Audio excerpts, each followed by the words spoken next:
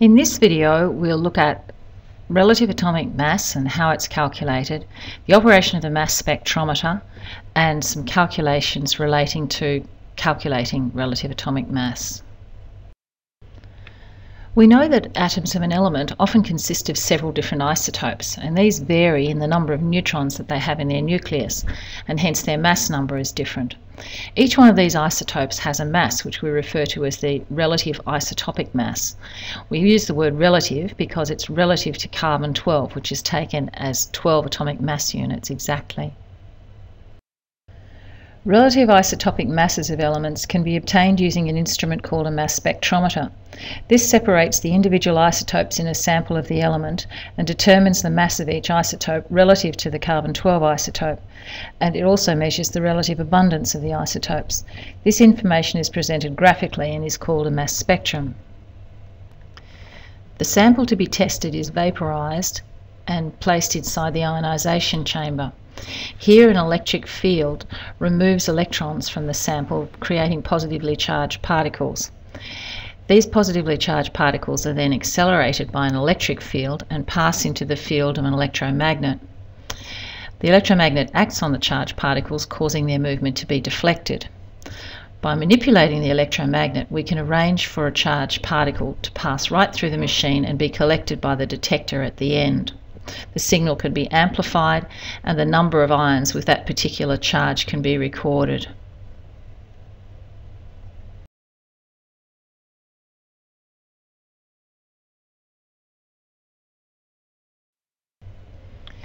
This is what you would see if you wanted to get a mass spectrum of chlorine.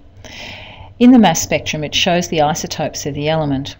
The number of peaks indicates the number of isotopes, in this case 2. The position of each peak on the horizontal axis indicates the relative isotopic mass, and the relative heights of the peak correspond to the relative abundance of the isotopes. For chlorine, one peak is approximately three times the height of the other, so the isotopes are present in the ratio of 3 is to 1. Similarly, this spectrum is the spectrum of mercury. There are far more isotopes here. We've got five, maybe six, seven isotopes in this case.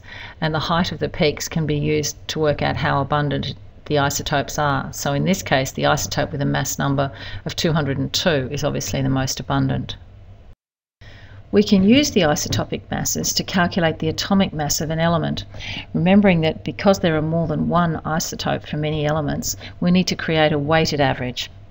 In all these problems, it's best if you take a note of what information we're given to start with by underlining it.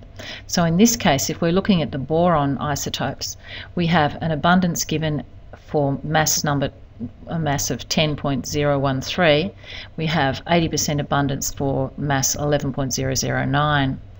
Now to calculate the relative atomic mass, we use a formula where we take the abundance and we multiply it by the isotopic mass, add that to the abundance of the second isotope and multiply that by the atomic mass and divide it by 100. And if we work the calculations out here, keeping all those figures, we end up with an answer of 10.810796. Now, all those extra figures at the end aren't particularly relevant because the least accurate figure we had to start with only had two decimal places. So when we take into account significant figures, we can round that down to 10.81. 81.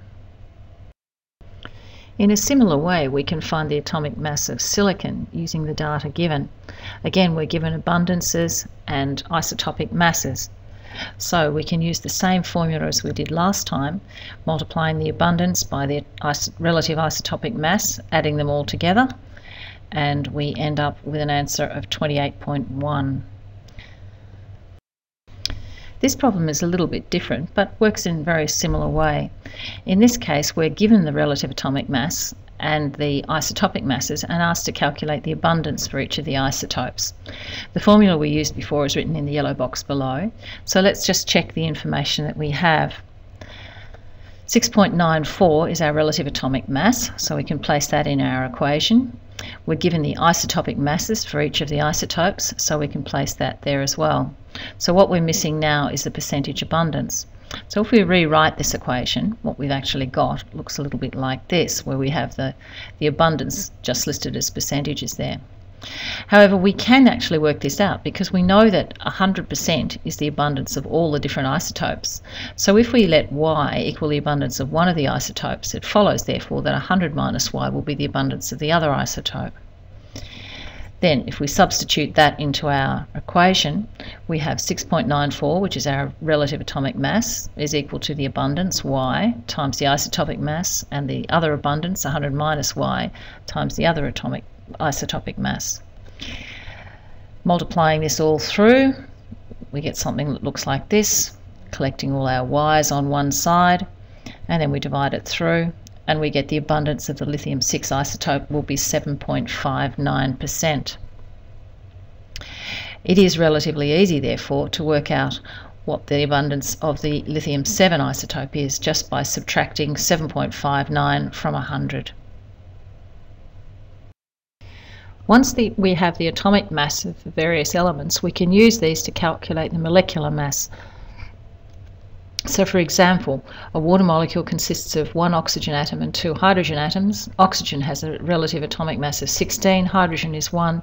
So when we add these together, we get a molecular mass of 18.